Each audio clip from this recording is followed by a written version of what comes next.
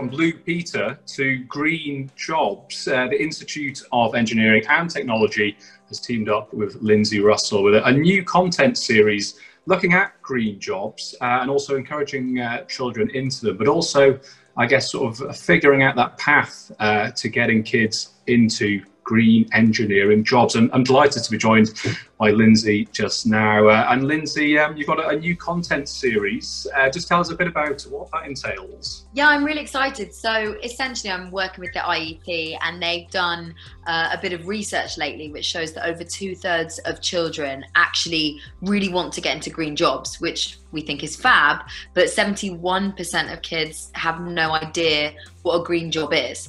Um, and I can't really blame them for that because when I started this series and they asked me to kind of produce this and get a you know, get it all together, I actually had no idea what a green job was either. So that was kind of step one. It was figuring that out. And then step two was like, how do we get that across to children so if they do want to go into green jobs, they know what careers are out there.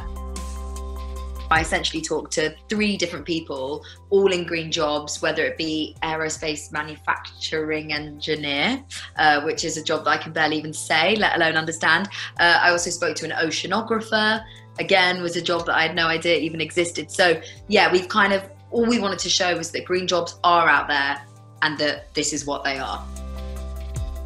What was great about chatting to Ying and Ludovic and some of these amazing, amazing people was that loads of them didn't even know what they wanted to do until they were about 23, and loads of them didn't land up in the jobs they're in until they were even older than that. So um, I know for kids, you know, there's a lot of pressure to kind of decide, you know, decide what you're good at, decide what GCSEs and what A levels you're going to do. But actually, it's okay not to know as well.